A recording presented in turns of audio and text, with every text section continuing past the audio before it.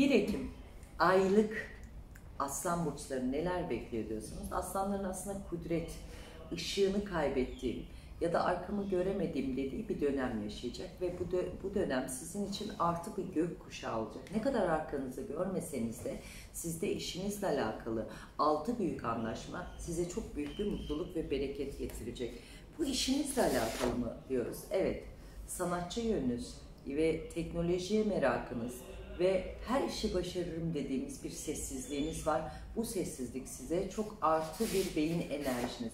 Yani dengeyi bulmak, ölçümlük ve olması gereken barışı sağlamak. İşinizde küs olduğunuz insanların size hızlı adım atacağı ve zamanı gelen ve büyük e, anlaşmalar, bakın derken hazinenin gücü, oluşması gerekenin zenginliği ve hayatınızdaki halletmeniz gereken tüm evrakların sonunda hazineniz açılıyor ve o kadar güzel kaderinizde değişimler var ki ve bu değişimler size artı bir güç, artı bir hayal konumu oluyor ve yönünüzü buluyorsunuz. İşle alakalı, aksi giden ve özellikle Ateş Burcu, e, Koç burcu biriyle de güzel iş anlaşmanız ya da güzel imzanız gerçekleşecek. Bunun mutluluğunu tadacaksınız. Aşkla ilgili çekiyorum.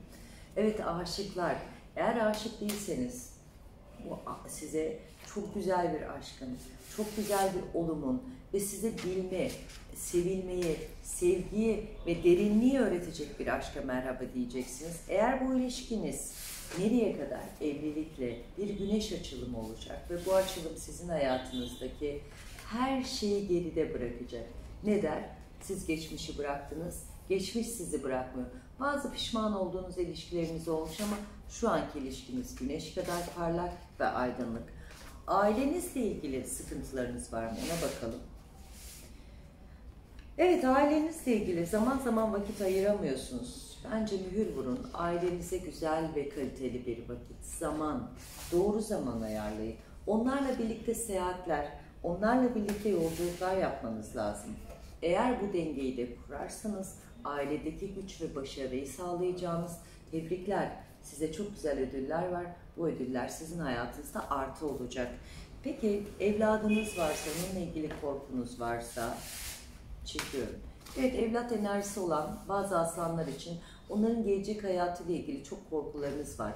Yani başarırlar mı, eğitimlerini yaparlar mı diyerekten bakıyoruz.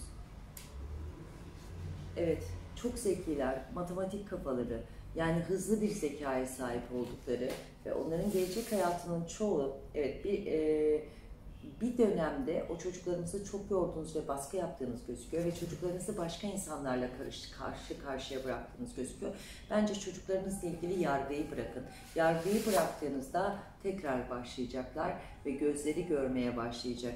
Peki büyükleriniz, anne baba, evet baba ile ilgili bağlarınızla ilgili biraz sıkıntı olabilir ve bu sıkıntıyla alakalı noktada e, güveninizi yıpratmış olabilir. Belki babayla olan yani ata erkille olan dengeleri kurmaya ihtiyacınız var. Bu ilişkiniz olur, eşiniz olur, erkek kardeşiniz, babanız olur.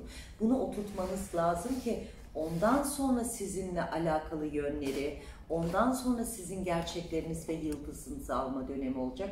Bence doğru bir dönemdesiniz. E, bu Ekim ayı size hem artı hem maddiyat hem de işle alakalı noktaların oturmasını sağlayacak. Sadece sizin denge sorununuz var. Dengeyi geride bırakın, başarıyı sağlayın. Evet sevgi ve mutlulukla kalın.